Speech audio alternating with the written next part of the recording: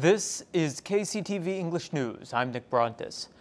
Governor Won Hee-ryong has officially asked the national government to designate Jeju a quote-unquote global blockchain special zone. Mr. Won made the request Thursday morning during a Blue House governor's meeting with President Moon Jae-in. He wants Seoul to create and follow international cryptocurrency norms and regulations in the proposed zone, saying that would open up the way for related businesses here. Governor Won also suggested the creation of a consultative group to devise cryptocurrency guidelines and regulations.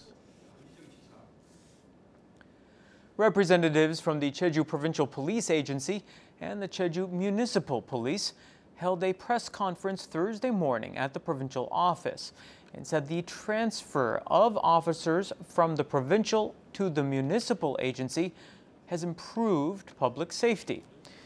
They said the transfers have benefited the staffing and the equipment of community police stations.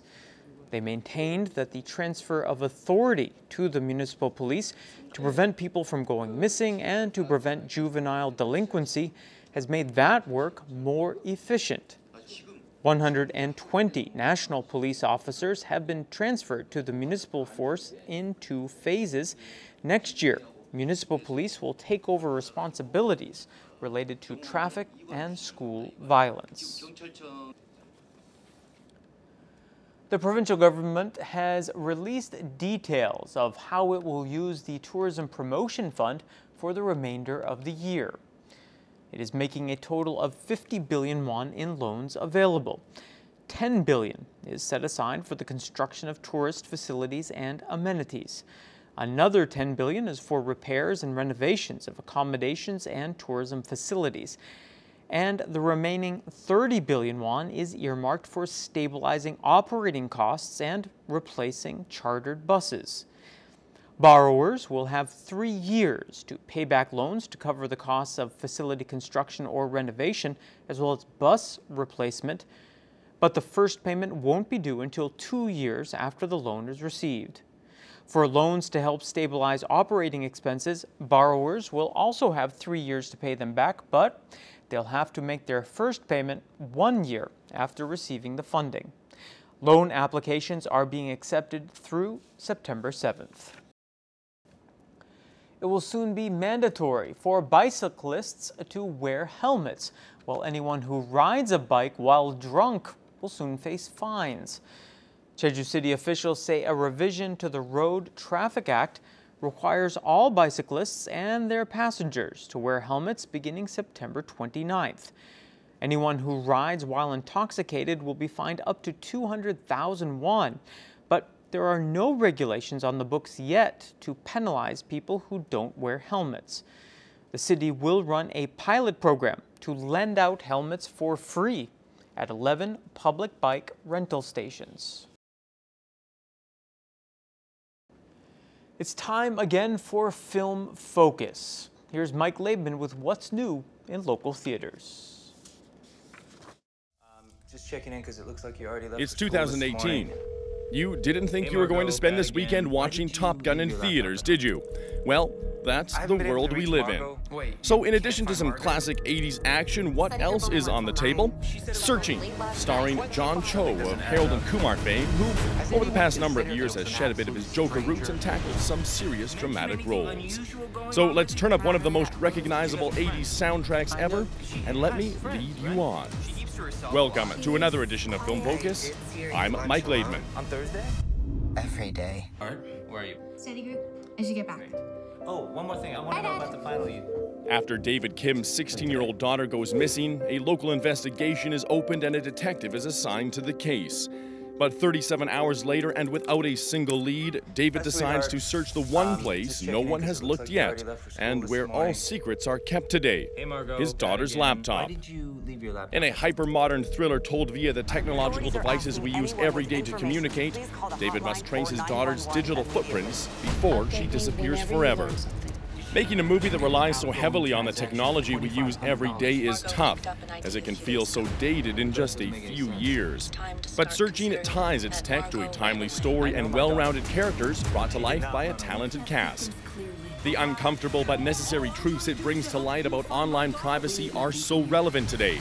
And as a whole, this is truly a fresh new take on the thriller genre.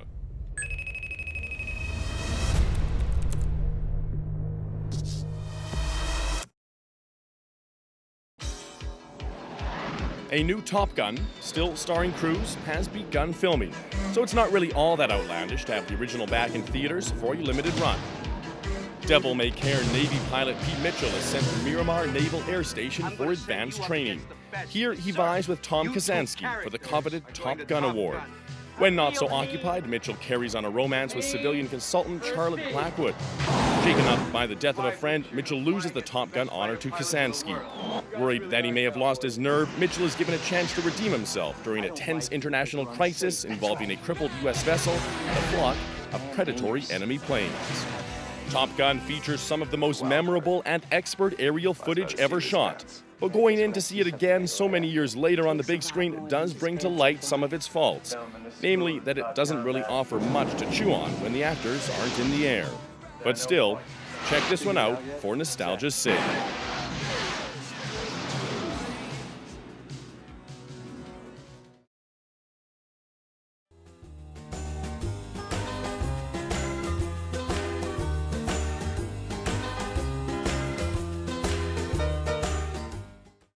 September is starting off wet. Most areas will get 30 to 80 millimeters of rain Saturday, but higher elevations could get more than 200. Here's your forecast. The morning low in Jeju City will be 25 and the afternoon high 28 degrees.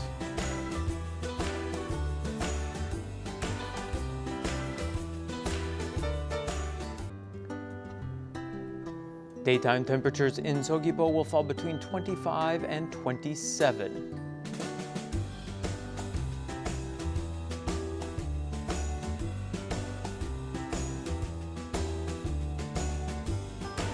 In Seongsan, the low before lunch will be 24 and the high later on 27 degrees.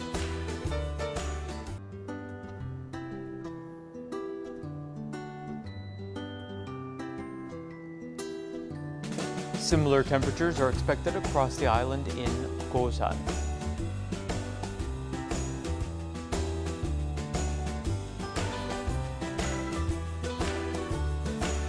And the morning low up on the mountain at Seongpanak will be 21 and the afternoon high just 22 degrees.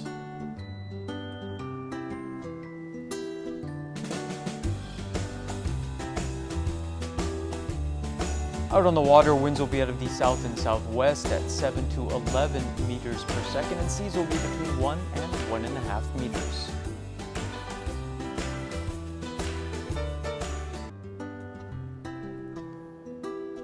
And here's a look ahead into next week.